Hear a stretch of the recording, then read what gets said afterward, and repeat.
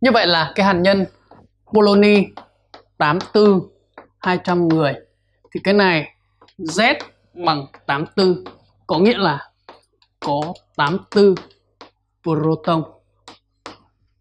Có A bằng 210 tức là có 210 nucleon. À, nucleon. Vậy thì từ đó suy ra là có A trừ Z như vậy có 210 trừ đi 84 thì bằng là à, lấy 210 trừ 84 bằng 126 neutron. Đó, như vậy là có 84 proton và 126 neutron. Như vậy ta chọn phương án D.